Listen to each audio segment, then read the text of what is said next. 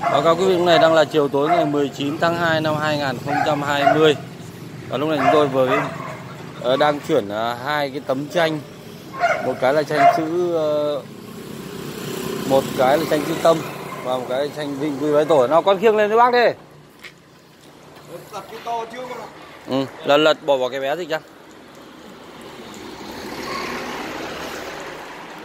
Đây là cái sản phẩm của đồ gỗ Đức Hiền chuyển đi uh, thị đường đường như vậy là Tân Long, thị trấn Yên Lập, huyện Yên Lập, tỉnh Vĩnh Phúc.